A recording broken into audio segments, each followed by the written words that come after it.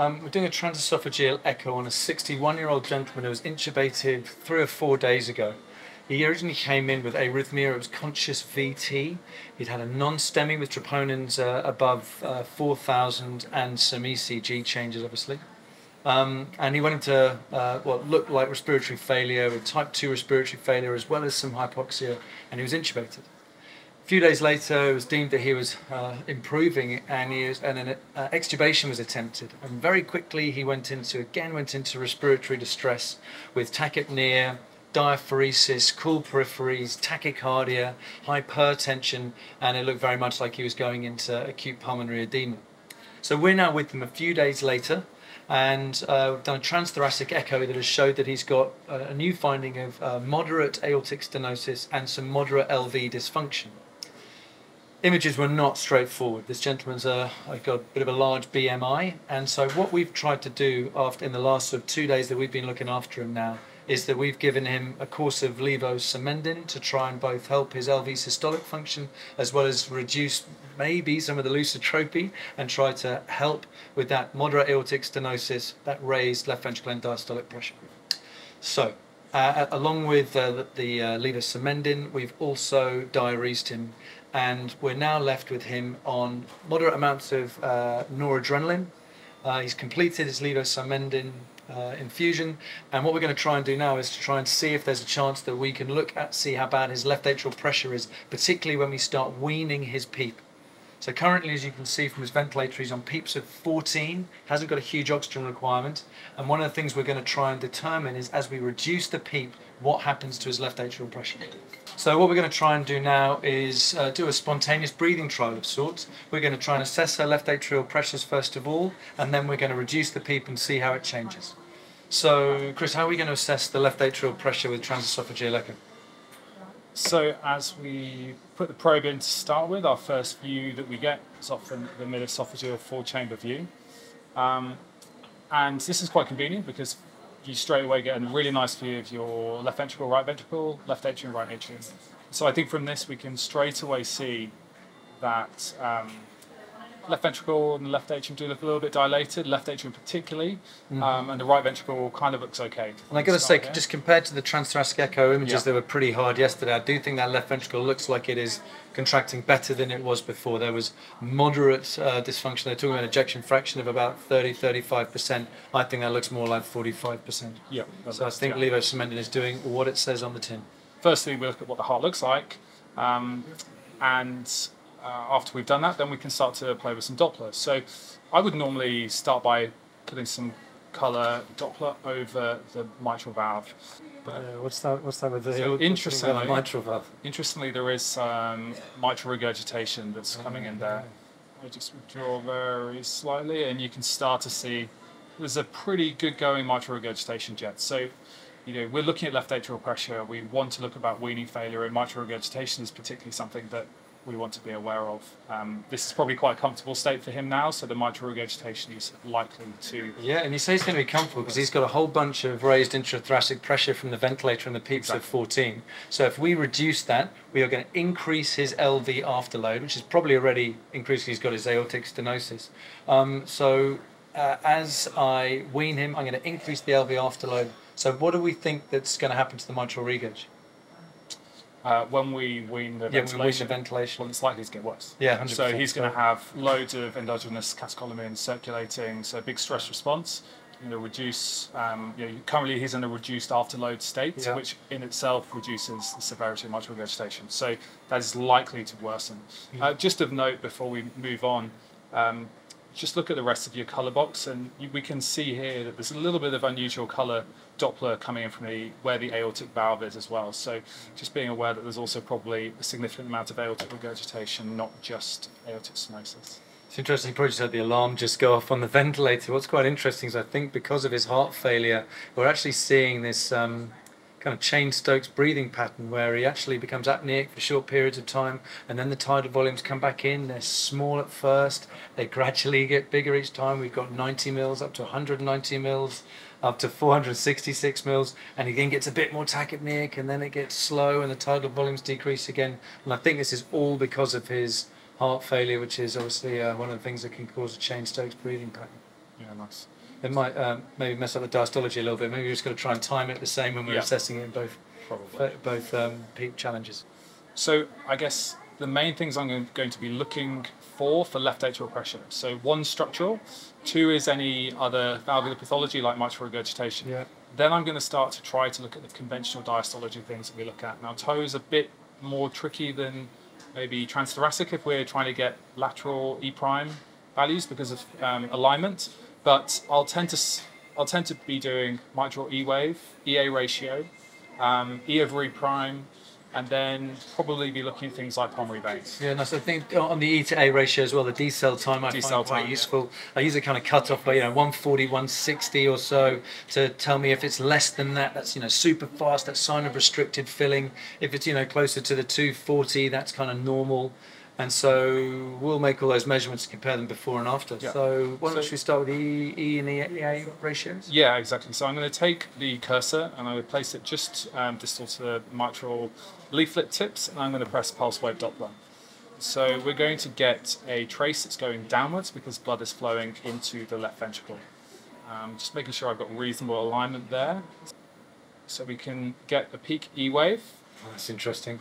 So it's really high, isn't it? Yeah. So normal E wave velocity is what about one, and we've got an E velocity there of uh, you know 1.4 meters per second. Um, so we know that the E velocity can be increased by significant mitral regurg.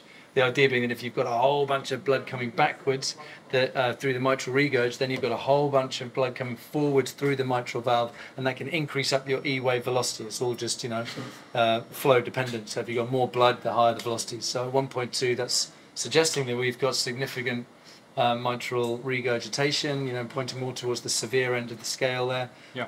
He's also on catecholamines. He's also probably, you know, potentially still in a bit of an overloaded state. Yeah. So we'll see how we go. Um, next thing you said, E to A ratio. What have we? What's the E to A ratio? E to A ratio is 2.5. 2.5. So again, what's, uh, what do we think about that? Uh, well, that's significantly raised. So over Yeah. two is classically your restrictive um, physiology. Yeah, nice. Um, thoughts on interpretation of diastology in the context of um, mitral regurgitation? There's probably at least moderate severity. Absolutely. I mean, I think it's going to be some caveats with this, right? So the E to A ratio is probably going to, it's not validated when you've got significant mitral valve pathology, either stenosis or regurgitation. So we've got to take it with a pinch of salt, I guess. But for what I think might be useful, though, is absolutely those kind of static parameters. We can't use that to estimate left atrial pressure, but what we can use this is when we change the PEEP, looking at the change in it. And I think if the E wave goes up, if that decel comes down, what was the deceleration time? Uh, decel time was 240. 214. So if that decel time comes down, you know, maybe that's an indication of uh, raising uh, left atrial pressures and the fact that if I tried to extubate him, he might go back into pulmonary edema.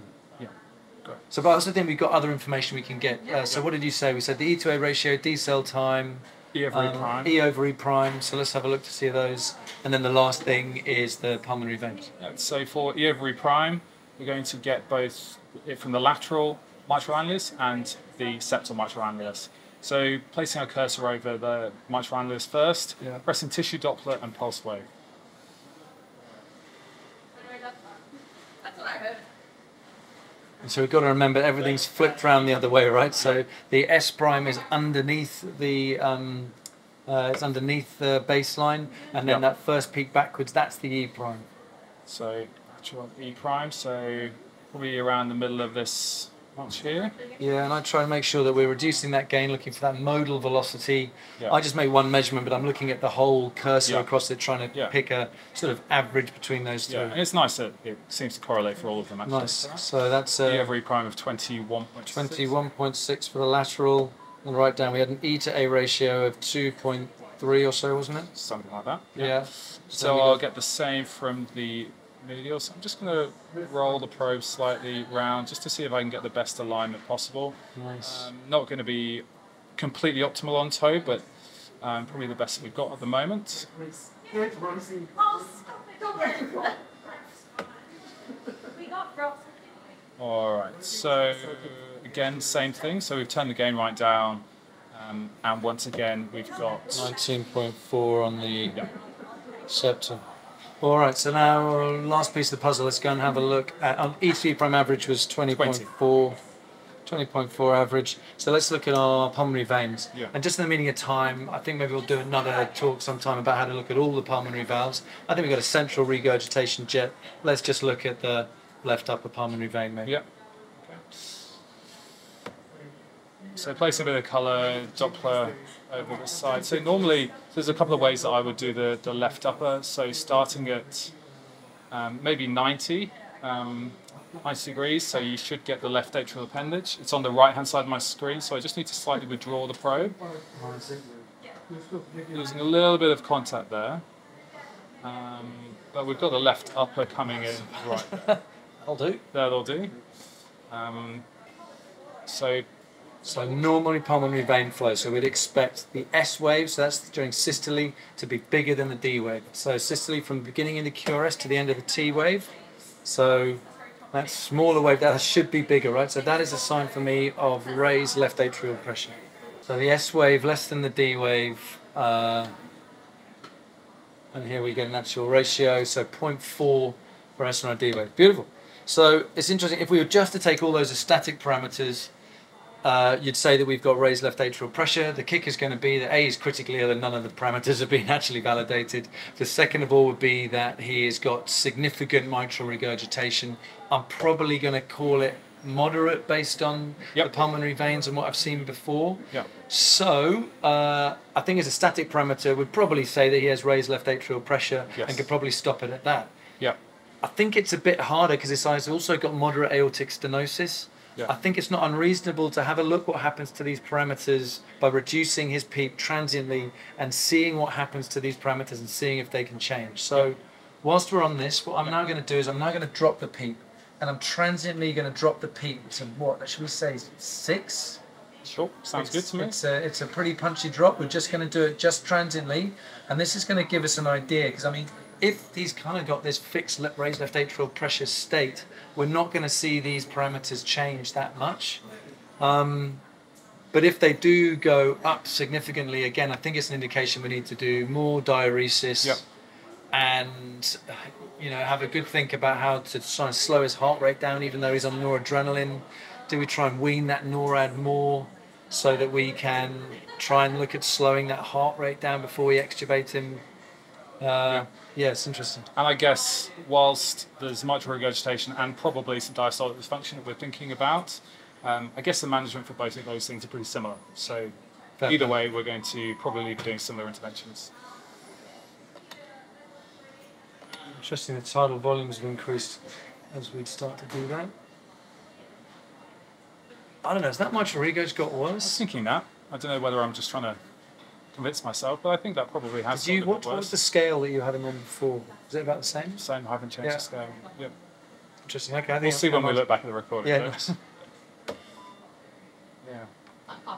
So reducing the PEEP, we've we've increased our afterloads. Yeah, increased the LV afterload. We've also probably increased the LV preload Yep. because we've reduced that afterload on the right side of the heart, increased the right side preload. So I guess if you're doing serial measurements, you've just got to try to make sure you're doing it from the same point every time. Yeah, and we also do it at the same time in the cardiac, uh, at the same time in the respiratory cycle, so when he's actually sort of breathing up. So if you don't mind just waiting for just a little bit. Okay, just starting to breathe up again now, so we'll do it when he's got his larger tidal volumes.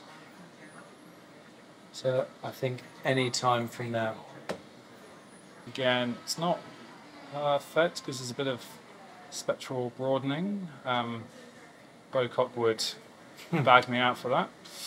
Oh, Uh, you're doing a great job. So, oh, okay. That's interesting. Okay. So I forgot what the decel time. I forgot to write it down. It was two. It was Two- over 200. It was over 200. I think it was makes 230 or something. Okay, so we've got an E to A ratio now of uh, somewhere. 2.6. Okay, it's 2.3 up to 2.6. Yeah. We've got a decel time of 164. So it was 230 to Yeah. 164. So both of those are suggest we've got increased, um, inc- uh, increased You know, left atrial- restrictive uh, pattern. yeah, increased restrictive pattern. So increasing left atrial pressure. All right. And obviously, we need to try not to measure it and have everything Yeah. go over your Yeah, that's what you measurement area. Yeah. Yeah, good. Yeah, didn't- You're right. I've only written down the uh, lateral and septal. Uh, okay, Uh, do you totally, want me to do this again? Lateral? Uh, yeah, but I can't remember what they were the first time. What I wrote down was the E to E prime. yeah, I don't remember it. We'll, we'll tell you what, we'll take it, we'll come Yeah. back. It's the first recording doing this, perhaps. Yeah. We'll, we'll get better with time. Yeah, maybe. We'll see. yeah, definitely. Uh, lateral E prime. Okay, so it's 6.4. You can go back and look. So that was 6.4. Septal. The one I'm most interested in is going to see what these pulmonary veins do. Yeah. Yeah, go for it now, and that's in the same phase as the respiratory cycle.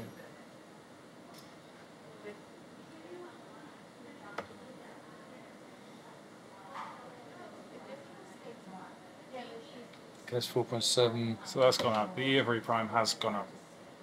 Yeah, nice. Because that's yeah, because you can even see because they were 21 and 19 before. Yeah. Correct. Particularly, I thought the septal looked like it went down more than the lateral. That's interesting. It interesting. did, yeah. And then Um, pulmonary veins, and we had a uh, 0.4 was the ratio.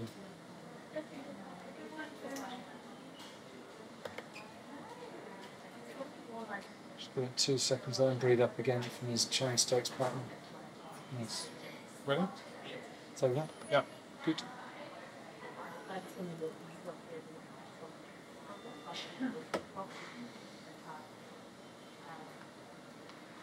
So again, we're going to do systolic. So again, we've got QRS here. So this is going to be systolic here. Yeah. We're going to have diastolic here.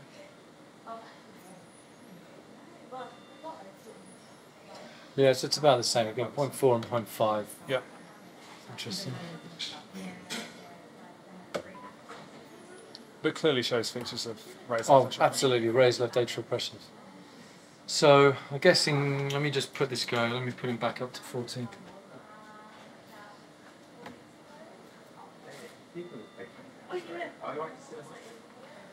Alright, so I mean, I think we've got significant changes that have gone, there, gone on there, particularly a rise in the E to A ratio. We've got a rise in the E to E prime. Yeah. We've got a reduction in your decel time. The S and the D wave ratio is about the same.